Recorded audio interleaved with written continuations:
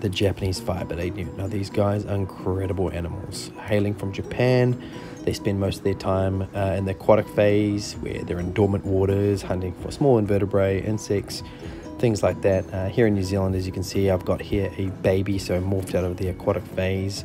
They're terrestrial for about 6 to 12 months, depending, and then they'll go back into the more aquatic phases. They become adults when their breeding instincts kick in, and they generally breed in the water. Right now, I'm feeding them some white worms. They're very, very active at night.